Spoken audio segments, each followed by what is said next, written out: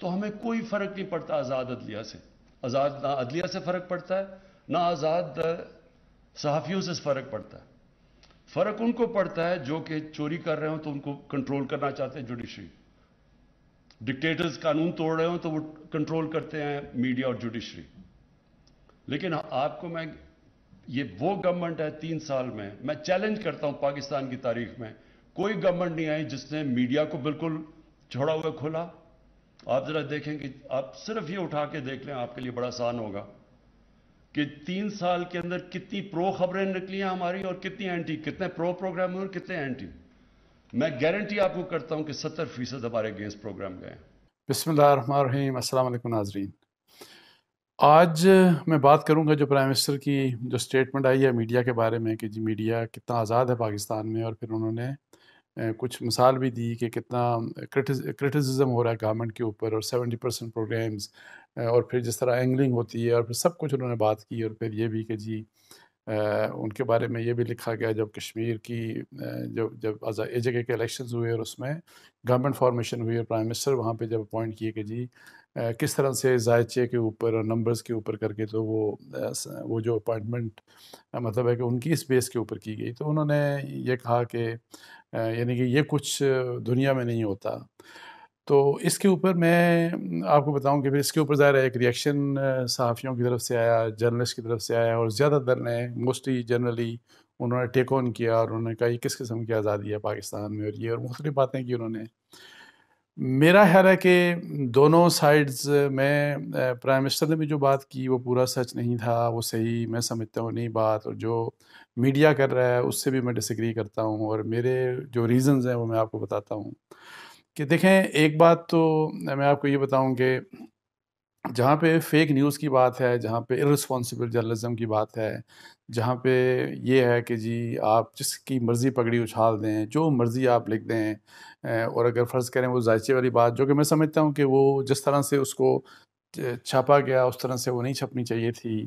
वो वो स्टोरी मेरा नहीं ख्याल है कि उस तरह से क्रेडिबल हो सकती थी कि आपने इतनी बड़ी और इसीलिए उसको जिस तरीके से उसका फिर कन्डिक्शन भी आया उसको रिबटल भी उसी तरीके से दूसरे दिन छप भी गया। लेकिन एनी हाउ जो हालात हैं पाकिस्तान के जर्नलिज्म के वो बड़े गंभीर हैं, वो बड़े ही मतलब है कि फ़िक्र वाले हैं और अनफॉर्चुनेटली जो मीडिया है एक साइड के ऊपर, वो भी लर्न नहीं करता और जो दूसरी साइड पे जो लोग हैं, जिनको शिकायत होती हैं, उनको भी जो करना, जिस तरीके से उनको प्रोसीड करना चाहिए, उस तरह से प्रोसीड नहीं करते। लेकिन ये ये डिस्कशन करने से पहले थोड़ा सा मैं थोड़ा सा बैकग्राउंड में चूँकि इमरान खान साहब ने जो शिकायत की और जो मैं कहता हूँ कि जब फेक न्यूज़ की जो बात करते हैं तो मुझे सिर्फ़ आप ये बताएँ कि जब धरना जिस ज़माने में था और धरने में जब रोज़ कंटेनर के ऊपर चढ़ते थे तो इमरान खान साहब मुझे ये बताएँ कि जिस किस्म के वो इल्ज़ाम नाम ले ले के इल्ज़ाम लगाते थे। उन्होंने किसी को नहीं छोड़ा, उन्होंने उस वक्त के चीफ इलेक्शन कमिश्नर को नहीं छोड़ा, चीफ जस्टिस ऑफ़ पाकिस्तान को नहीं छोड़ा, जजेस को नहीं छोड़ा फिर अपोजिशन के ऊपर, फिर जंग ग्रुप के ऊपर उन्होंने जिस किस्म के इल्ज़ाम लगाए और बड़े बड़े संगीन इल्ज़ाम मैं आपको बताऊँ और और वो सब की सब मोस्टली जनरली नाइनटीन परसेंट और नाइन्टी फाइव परसेंट चीज़ें वो फेक न्यूज़ होती थी, वो कोई फैक्ट्स नहीं होते थे और वो सारे के सारे चैनल हर वक्त चला रहे होते थे, जो कि मैं ये समझता हूँ कि मीडिया को ऐसी चीज़ें कि जो जो जो इस तरह की चीज़ें हों जो डाउटफुल हों और जो जो इस तरह के इल्ज़ाम हों, लोगों के ऊपर जो गद्दारी के भी इल्ज़ाम हों और करप्शन के भी इस तरह से और मीडिया चलाए जा रहा है, चलाए जा रहा है, चलाए जा रहा है तो जहाँ पे फेक न्यूज़ वहाँ पे कंटेनर के ऊपर से जनरेट हो रही थी, उस फेक न्यूज़ को जिस तरह टेलीविज़न चैनल्स ने चलाया तो वो on part of Imran Khan साहब वो भी गलत था और ऑन पार्ट ऑफ़ मीडिया वो भी गलत था कि जो मर्ज़ी आप जिसकी पगड़ी उछालें, वो उछालने की इजाज़त ये दे देते हैं और टेलीविज़न चैनल्स में करप्शन के इल्ज़ाम लगते हैं, हर किस्म के गद्दारी के इल्ज़ाम लगा दिए जाते हैं, ये गुस्ताही के इल्ज़ाम लगा दिए जाते हैं और ये तो एक ऐसा सिलसिला चल निकला है कि मुझे नहीं समझ आती ये कहाँ रुकेगा। और इमरान खान साहब की मैं आपको बात बताऊँ कि उस ज़माने में उन्होंने एक इल्ज़ाम एक इल्ज़ाम ये भी लगाया था जो कि मुझे जिसमें पर्सनली मैं बड़ा हर्ट हुआ था। वो ये था कि उस ज़माने में ज़ाहिर है प्राइम मिनिस्टर से जर्नलिस्ट मिलते रहते हैं, कोई पंद्रह बीस के दरमियान जर्नलिस्ट की मुलाकात हुई। उस वक्त के प्राइम मिनिस्टर से जब ये धरने के ऊपर थे नवाज़ शरीफ साहब से, जिनमें मैं भी शामिल था, नसीम जहरा भी थी, तलत हुसैन भी थे शाहजेब खानजादा भी था ये जो चौधरी जावेद चौधरी भी थे, और इस तरह मुख्तलिफ़ लोग थे।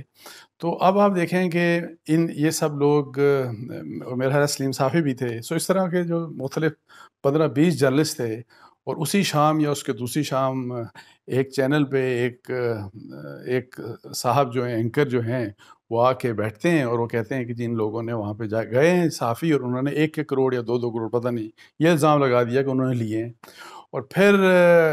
एक पता नहीं कहाँ से एक एक आपको पता है कि झूठे हर झूठ फ्रॉड किस्म के जो चीज़ें निकलती हैं आप कोई भी डॉक्यूमेंट वैसे ही बना लें ख़ुद से लिख लें कि जी नाम लिख के जी इसके आगे इतने करोड़ के इस, इस इसको इतना करोड़ इतने उसको इतना पैसे मिल गए।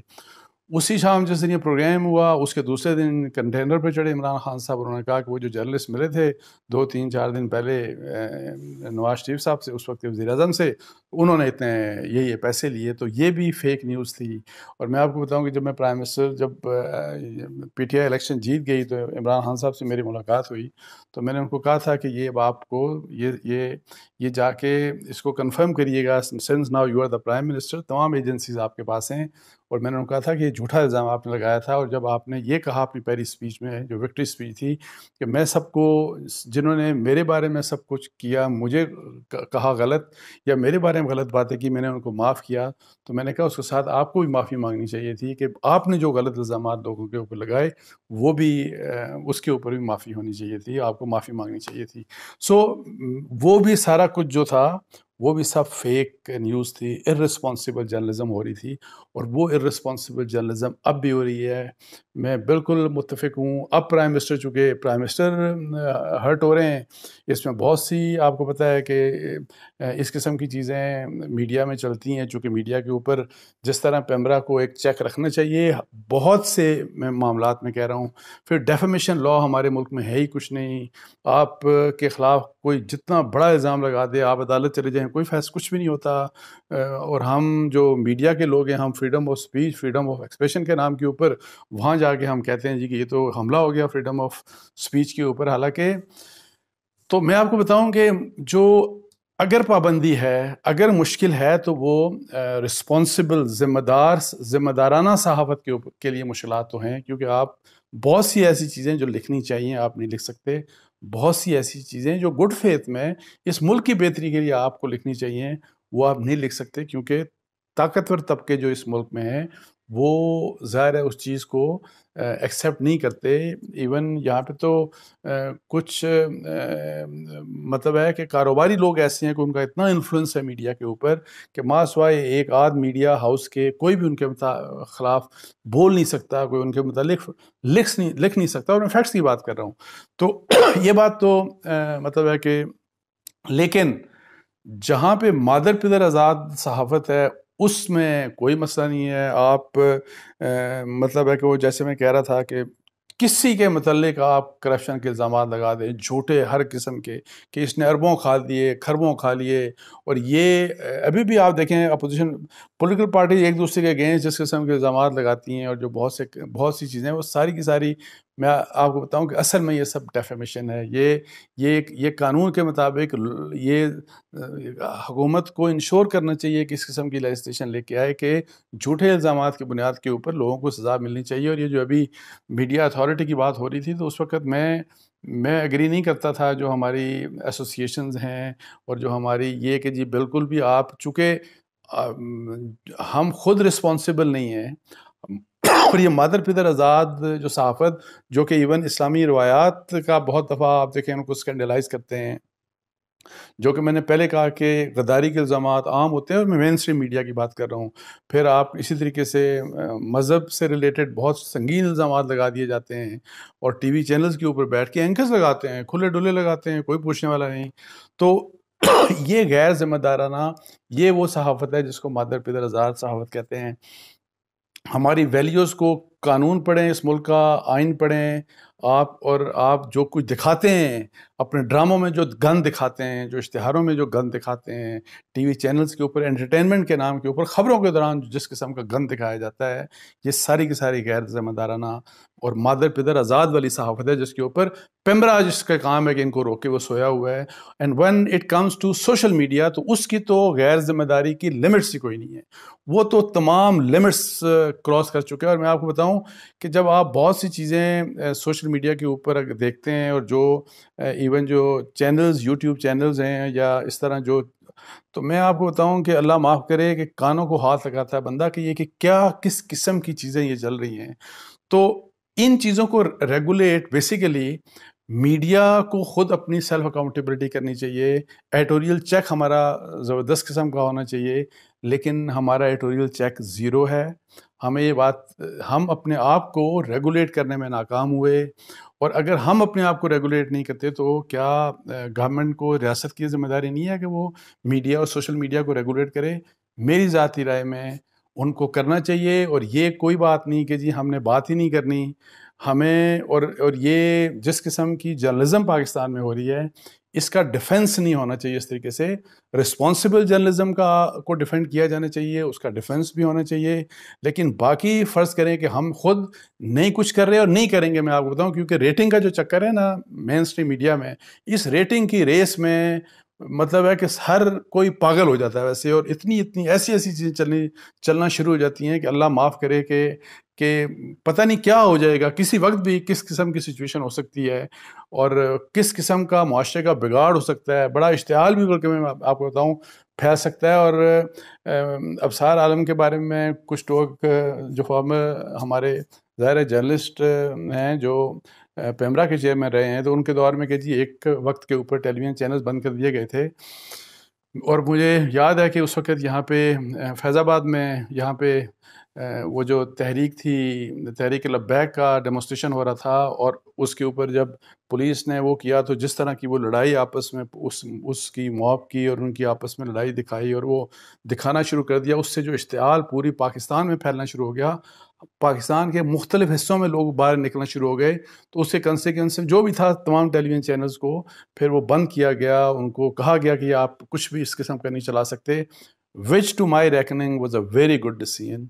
और ये काम है रियासत का कि इस तरह का काम करना चाहिए। और फिर ये बात कि हमने देखा है कि बाहर के अखबारों में तो गलत रिपोर्टिंग के ऊपर इरिस्पॉन्सिबल जर्नलिज्म के ऊपर लोग, लोगों को सज़ाएँ भी मिलती हैं, अखबारों के ऊपर भी और मीडिया के ऊपर भी हाउसेस के ऊपर भी बहुत बड़े बड़े जरिमाने होते हैं।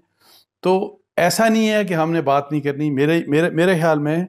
हकूमत का जो जो भी लॉ बनाना चाह रही होगी मुझे नहीं पता ये जो फवाद चौधरी साहब जो भी करना चाह रहे होंगे, मुझे उनके ऊपर उस तरह ट्रस्ट नहीं है। ज़ाहिर है उनकी ख्वाहिश होगी कि चूँकि ये मीडिया ख़ुद नहीं कर रहा तो हम कर रहे हैं तो हम अपनी मर्ज़ी की चीज़ें डाल के तो ताकि अपना कंट्रोल करें, अपना कंट्रोल नहीं but media needs to be regulated ये ना सिर्फ़ मेन स्ट्रीम मीडिया बल्कि वो जो है, ये जो सोशल मीडिया दोनों चीज़ों को रेगुलेट होना चाहिए, वरना हमारा मैं आपको बताऊँ कि हमारे लिए बहुत ख़राबियाँ पैदा हो जाएँगी। ऑलरेडी मेरी, मैं खुद कहता हूँ बींग बींग मीडिया पर्सन कि मीडिया की वजह से अगर बहुत सी चीज़ें बेहतर होती हैं तो बहुत सी चीज़ों में बहुत ज़्यादा ख़राबियाँ भी पैदा हो गई हैं, जिनको रोका जाना चाहिए। तो coming back to Imran Khan साहब की जो शिकायत है, बाकी देखें, अगर कोई महँगाई की बात करता है, कोई ये कहता है कि आपकी गवर्नेंस अच्छी नहीं है, कोई अगर ये कहता है कि जी आपको ये जो बहुत सी चेंजेस आप करते हैं, उसके ये कंसिक्वेंसेस हो रहे हैं इकॉनमी के बारे में अगर आपके ऊपर क्रिटिसिज्म हो रहा है तो इसको आप मनफी तरीके से मत लें। ये बेसिकली मेरा ख्याल है, मेरा ख्याल नहीं बल्कि हकीकत में ये आपकी मदद की जा की जा रही है। मीडिया आपको दिखा रहा है जो आप आपके इर्द गिर्द लोग आपको नहीं दिखाना चाहते। जो आपको जिस तरह की प्रेजेंटेशन दी प्रेजेंटेशन दी जाती हैं वो आपको उस तरह से नहीं दिखाना चाहते। मीडिया आपको दिखा रहा है कि जी लोगों की क्या हालत है, इकॉनमी किस साइड के ऊपर जा रही है, महँगाई से लोग कितने परेशान हैं। तो इस लिहाज से ये और जो आप बार बार चेंजेस करते हैं, या आप फ़र्ज़ करें ख़ुद इस्लामाबाद बैठ इस्लामाबाद में बैठ के पंजाब को कंट्रोल करना चाहते हैं, आप ए जे के कंट्रोल करना चाहते हैं, आप के पी के पे कंट्रोल करना चाहते हैं, कहते हैं, ख़ुद सब कुछ मैं चलाऊँ, उससे क्या ख़राबियाँ हो रही हैं? ये बेसिकली आपकी मदद है और इसमें वैसे झूठ कोई हो तो वो फेक न्यूज़ है, उसके ऊपर बिल्कुल आपको प्रोसीड करना चाहिए, उसके लिए कानून बेहतर बनाए, लेकिन अगर कोई निशानदेही खामी की करता है और कंस्ट्रक्टिव कंस्ट्रक्टिव क्रिटिसिज्म हो रहा है तो उसको कम अज़ कम उसके ऊपर नाराज़गी नहीं होनी चाहिए। तो बस यही मैंने आपसे आपसे बात करनी थी। मैंने कहा, चले, मैं अपनी थॉट्स आप लोगों से शेयर कर लूँ। इसके साथ ही मुझे इजाज़त दीजिए जी। जजाकल्ला अस्सलाम वालेकुम रहमतुल्लाह।